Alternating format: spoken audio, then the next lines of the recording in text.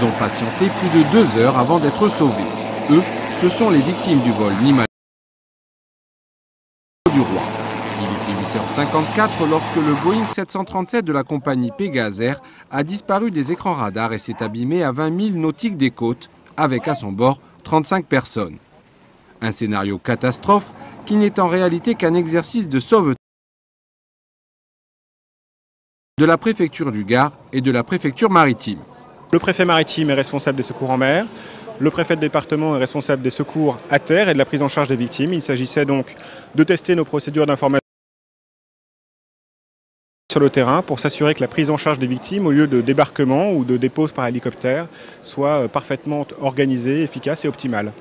Entre pompiers, SAMU, Croix-Rouge, SNSM, police et gendarmerie, ce sont plus de 400 personnes qui ont participé à l'exercice. Un exercice qui s'effectue une fois l'an sur l'arc méditerranéen et qui a une dimension internationale grâce à la présence de sauveteurs italiens. En matière de recherche aérienne, euh, ce qui compte, c'est de gagner du temps. Quand on a la preuve qu'un avion s'est craché en mer, Et quand on peut faire partager le fardeau de la recherche à une des nations qui sont riveraines avec nous, euh, on gagne du temps. Dans le rôle des victimes, 10 plongeurs de la Marine nationale qui ont été élitroyés, ainsi que 35 élèves du lycée maritime de Sète. Oh, bah, c'est pour former les jeunes surtout. Former les jeunes, sont tous du, milieu maritime, donc c'est intéressant pour eux. Hein. C'est une bonne expérience. C'est quelque chose qu'on fera qu'une fois, je pense, enfin j'espère. Récupérés sur site par les vedettes de la SNSM, les victimes ont été achevées. Qui est-ce qui aide à transférer, à sortir les UR hein? Les UR, il y a le fourgon qui arrive.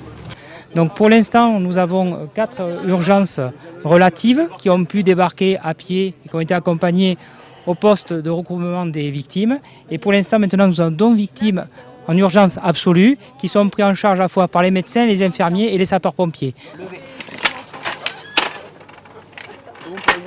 Donc c'est un patient avec des brûlures, probablement un traumatisme abdominal important et euh, une fracture euh, de la Direction le PMA, poste médical avancé, un hôpital de campagne implanté au sein du gymnase Grolin et dont l'activation dépend du plan Orsec. Alors les difficultés à rencontrer dans ce type d'exercice, c'est euh, d'éviter l'aggravation euh, de l'état des victimes puisqu'on a un afflux de victimes en masse et c'est pour cela qu'on met en place euh, d'une part un point de rassemblement des victimes et ensuite un poste médical avancé afin de, trier les victimes, de les médicaliser et, de les transporter vers les structures hospitalières dans les meilleures conditions possibles. Une évacuation orchestrée par la Croix-Rouge mais qui restera